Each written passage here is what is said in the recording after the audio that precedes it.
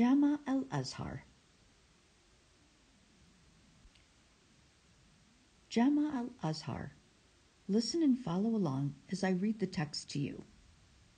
يقع الجامع الأزهر في مدينة القاهرة في مصر وهو من أهم مراكز التعليم في مصر والعالم الإسلامي ويقول الكثيرون إنه أقدم جامعة في العالم فقد بناه القائد الفاطمي جوهر الصقلي سنة 970 ميلادية.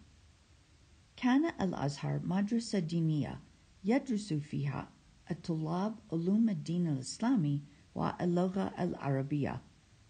وفي سنة 1961 فتحت فيه ثلاث كليات جديدة هي كليات الطب والهندسة والتجارة وصار الأزهر جامعة حديثة عدد الطلاب في الأزهر حوالي تسعين ألف طالب وعدد الأساتذة حوالي ثلاثة ألاف وستمائة أستاذا ولكن مكتبة الأزهر صغيرة جدا عدد الكتب فيها حوالي ثمانين ألف كتاب فقط لغة التدريس في الأزهر هي اللغة العربية ويجيء له الطلاب المسلمون من كل بلاد العالم وخاصة من أفريقيا وآسيا